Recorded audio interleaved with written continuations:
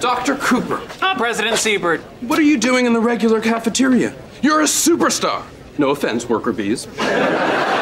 you should join me in my private dining room. Dr. Fowler is already there.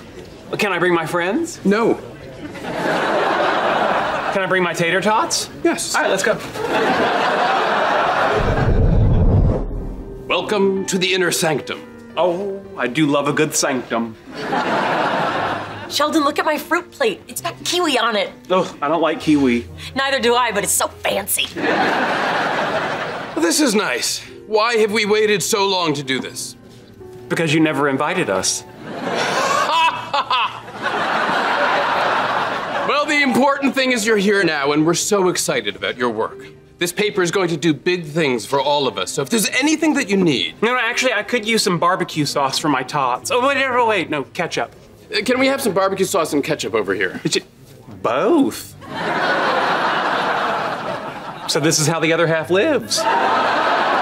I just want you to know that you have our full support, and we're organizing a big media push articles, interviews. Oh, you want us to do interviews? Uh, well, we're thinking a divide and conquer approach here, where you do the interviews and Sheldon stays here and holds down the fort, you know, in case there's an emergency. What kind of an emergency would there be in physics? I don't know, maybe there's an object in motion that won't stay in motion. or a reaction that's equal but not opposite. It sounds like you don't want Sheldon to do the interviews. Oh, it's not that we don't want Sheldon to do the interviews, it's just that we really want you to do the interviews. Without Sheldon. Oh, wait, wait, are you trying to exclude me? Look, Sheldon, you're a brilliant man, but your people skills are I, this is not barbecue sauce, this is steak sauce. What are you trying to pull? like that.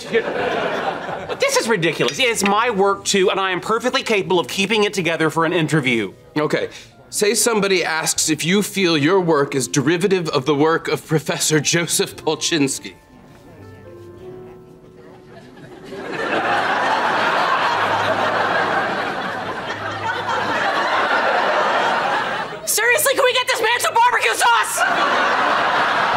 I'm about to start recording. Are you guys ready? Sheldon, are you ready? Absolutely. Great.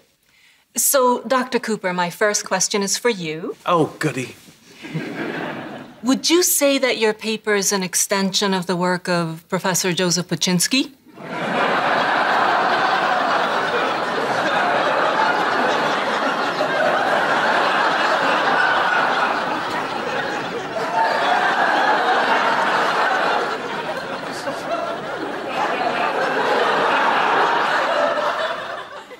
I'll be in the car.